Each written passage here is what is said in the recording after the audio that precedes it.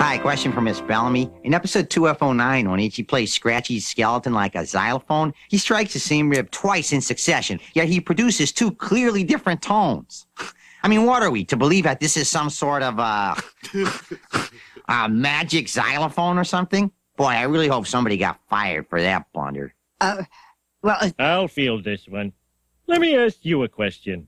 Why would a man whose shirt says genius at work spend all of his time watching a children's cartoon show? I withdraw my question.